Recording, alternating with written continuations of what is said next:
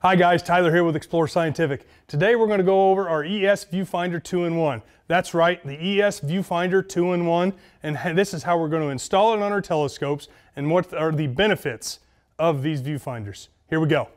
So I got a, a metric two and a half, and we're going to use this wonderful ED80, and I've already loosened up my Allens here. So you can use the existing Allens that came with your telescope, but you do have to remove the initial front one or the back one here. So you'll line it up with the same holes. Plop it in right in there. Yep, yep, yep. Come on. Work with me. Wish I had more than one hand. Wish I had a lot more hands.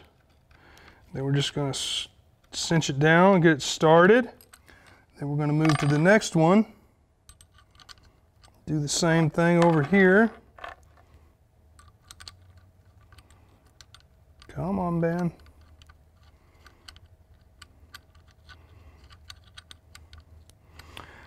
And you gotta love this stuff.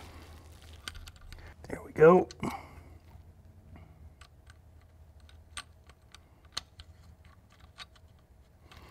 There's one side.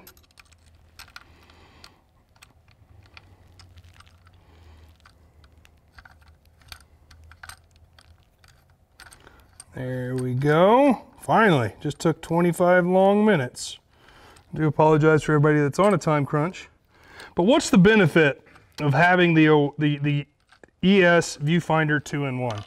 Well, simply, you can use our Explore Scientific finders that come with the telescope or ones that you already have, but have the ability to use the Orion Synta foot as well.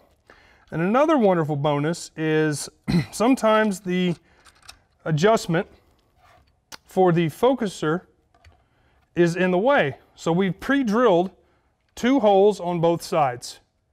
Even for the same thing for the Synta foot.